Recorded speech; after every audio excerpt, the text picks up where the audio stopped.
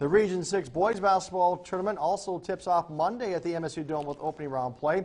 On the heels of a first ever football playoff appearance, the Nedrose Cardinals are making a first ever appearance in the region basketball tournament, and they'll meet up with District 12 champion MLS in the opening game of the day.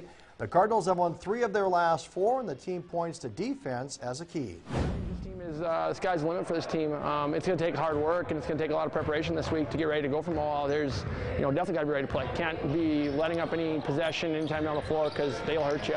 Uh, playing in the dome is different for us. We haven't played anything with an open back like that.